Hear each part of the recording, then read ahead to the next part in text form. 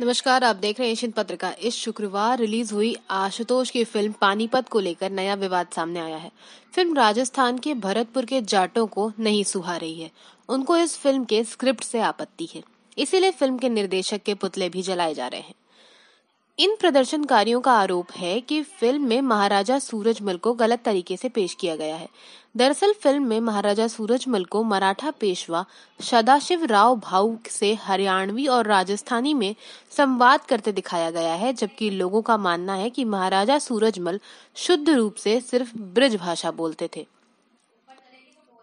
इससे पहले फ़िल्म में कृति सनौन के डायलॉग पर पेशवा बाजीराव के वंशज ने आपत्ति जताई थी। उनका कहना था कि कृति सनौन का डायलॉग मस्तानी और पेशवा को बदनाम करता है। ट्रेलर में कृति अर्जुन कपूर से कहती हैं कि मैंने सुना है, जब पेशवा अकेले मुहिम पर जाते हैं तो एक मस्तानी के साथ लौटते हैं। विवाद इसी डायलॉग को लेकर था। इस फ़िल्म पर कहानी की चोरी का भी आरोप लगा था। इस बारे में फ़िल्म के निर्देशक, निर्माता और फ़िल्म की वितरक कंपनी के खिलाफ मुकदमा भी दर्ज हुआ था। पानीपत की तीसरी लड़ाई पर आधारित इस फ़िल्म में अर्जुन कपूर, कृति सनौन और संजय दत्त मुख्य किरदार में है। जहाँ अर्जुन मराठा पेशवा सदाशिव राव भाव की भूमिका में है तो वहीं संजय दत्त, अहमद शाह अब्दाली का किरदार निभा रहे हैं। बात करें कलेक्शन की तो पानीपत को फ़िल्म समीक्षकों और दर्शकों से मिल रही तारीफ़ ने इसका शनिवार को बेहतर कर दिया दिन।